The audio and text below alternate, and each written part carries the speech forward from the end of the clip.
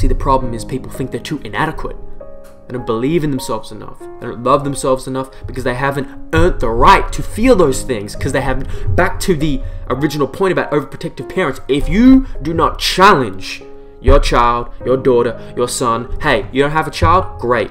If we don't challenge ourselves enough outside of our comfort zone, outside of the safety of one's home, then how are we to ever think beyond inadequacy?